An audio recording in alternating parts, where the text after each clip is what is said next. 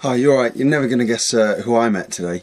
Uh, Pika, Pikachu. pika, pika, pika. Alright, well, not Pikachu, but a girl dressed as Pikachu.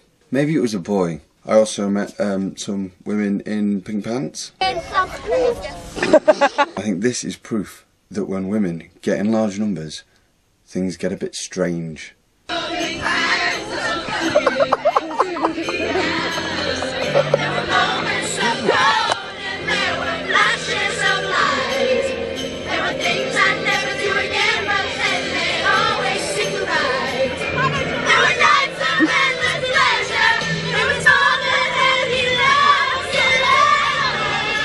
You need more proof?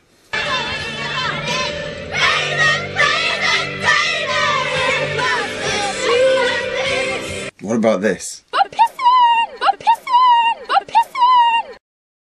I made meatloaf. Why? Well, because Meatloaf is the ultimate comfort food. It's easy to make one that's super moist and flavorful. Meatloaf is always a family favorite and perfect for sandwiches the next day. how about that? And now to end something that made me laugh.